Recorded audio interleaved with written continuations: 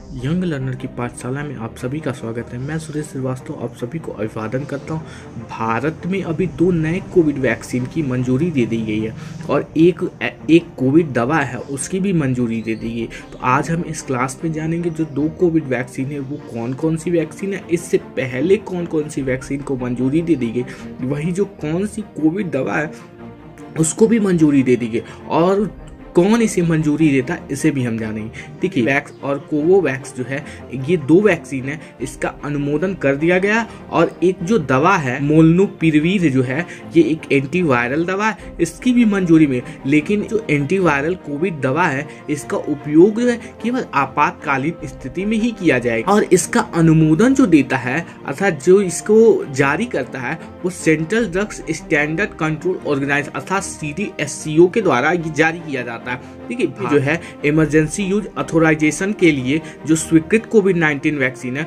उसकी संख्या जो है बढ़कर अब आठ हो गई है। दो वैक्सीन के टीके आए हैं इससे पहले जो थे छह टीके को मंजूरी मिली लेकिन अभी जो है इसकी स्थिति आठ हो गई। आइए हम जानते हैं कौन कौन देखिए कोविशील्ड सीरम संस्थान द्वारा जो कोविशील्ड है भारत बायोटेक द्वारा जो कोवैक्सीन है जाइडस कैडिला द्वारा जेड वाई कोविड है और रसिया द्वारा स्पुतनिक वी और अमेरिका द्वारा मॉडर्ना हो गई।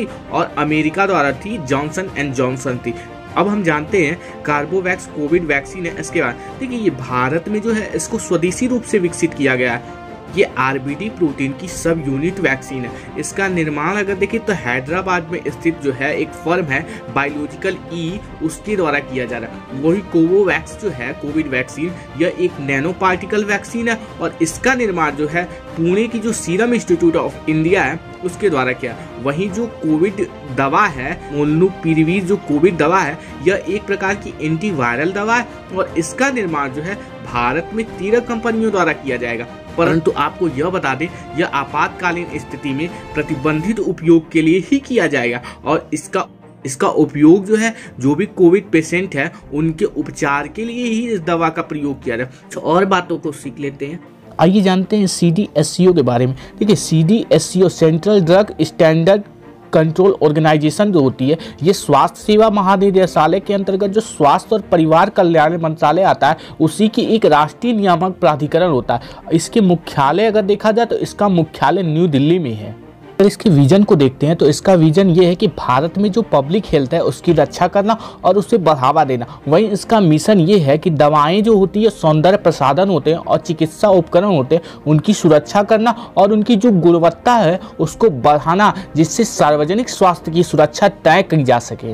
ये जो होती है ड्रग एवं कॉस्मेटिक एक्ट 1940 और इसका रूल जो है 1945 the drug cosmetic act 1940 and rule 1945 इसी के तहत सी जो होती है, वो दवाओं का भी अनुमोदन करती है और क्लिनिकल परीक्षण करती है और दवाओं के लिए जो मानक होता है, उसी भी तैयार करती है। देश में जो आयात की दवाएँ होती है, उनकी गुणवत्ता को भी नियंत्रित करती है। आइए इसके ऑपरेशनल स्ट्रक्चर को समझते हैं। देखिए मिनिस्ट्री ऑफ़ हेल्थ होती है, उसी के अंतर्गत सीडीएससीओ आती है। फिर सीडीएससीओ के नीचे जो होती है drug controller general of India आते हैं। फिर डेप्यूटी ड्रग कंट्रोलर होता है। फिर असिस्टेंट ड्रग कंट्रोलर होते हैं। फिर ये दो डिवीज़न में डिवाइड डिवाइड हो जाता है, एक मेडिकल डिवाइस डिवीज़न हो जाता है, एक डायग्नोस्टिक डिवीज़न होता है। जो मेडिकल डिवाइस डिवीज़न होता है, ये ड्रग इंस्पेक्टर आते हैं और इसके अंतर्गत टेक्निकल डाटा एसोसिएट्स आते हैं।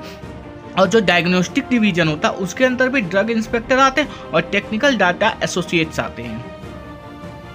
देखिए, जो ड्रग कंट्रोलर जनरल है, इसका हेडक्वार्टर जो है, वो न्यू दिल्ली में है। वहीं इसकी छः जोनल ऑफ़िस है। जो छः जोनल ऑफ़िस है, उसे हम देखते हैं। तो देखिए गाजियाबाद है नॉर्थ जोन में जो है गाजियाबाद है साउथ जोन में देखते हैं तो चेन्नई है, वहीं अगर वेस्ट जोन में देखते हैं मुंबई है और ईस्ट जोन में है कोलकाता है। और इसके दो और जोन हैं तो इसके हैदराबाद जोन और अहमदाबाद जोन वहीं अगर इसके हम सब जोनल ऑफ़िस को देखते हैं तो सब जोनल ऑफ़िस जो है सात है। बैंगलोर हो गई, वाराणसी हो गया, गोवा हो गया, जम्मू हो गया, इंदौर हो गया, गुवाहाटी और बादी हो गया।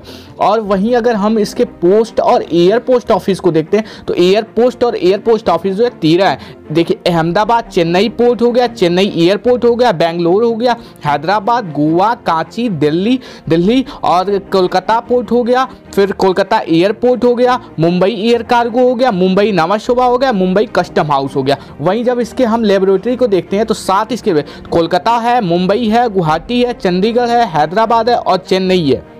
अब हम सी डी एस सी ओ के जो फ़ंक्शन है, उसको हम समझेंगे। देखिए, ये जो सी डी एस सी ओ है, इसके कार्य की क्या क्या है? तो ये क्या करती है? जो न्यू ड्रग होता है और उसकी क्लिनिकल ट्रायल होता है, उसको अप्रूवल करती है। वही रजिस्ट्रेशन रजिस्ट्रेशन और लाइसेंसिंग का भी ये अप्रूवल करती है। और आपको बता दें, ये लाइसेंसिंग भी अप्रूव करती है। और जो ये होती है तो drugs and cosmetic act and rule है, उसमें अमेंडमेंट भी करने का कार्य करती है। और ये जो होती है न्यू ड्रग जो होता है, उसके और कॉस्मेटिक होते हैं, उसकी बैरिंग भी करती है। और ये ग्रांड टेस्ट लाइसेंस और पर्सनल लाइसेंस जो होती है, उसको भी इशू करती है। वहीं यह टेस्ट भी करती है न्यू ड्रग जो होता है उसकी भी टेस्टिंग करती है। उम्मीद कर रहा हूँ आपको ये जो दो, दो नए कोविड वैक्सीन है और एक जो कोविड गोली है इसके बारे में बेहद समझ में आएगा और साथ ही साथ आपने सी डी एस सी ओ के बारे में और अच्छी जानकारी विकसित कर ली होगी। उम्मीद है आपने अपनी जानकारियों में वृद्धि कर ली होगी। अगर आप इस चैनल पर नए हैं तो लाइक शेयर सब्सक्राइब करना न भूलिए। जय हिंद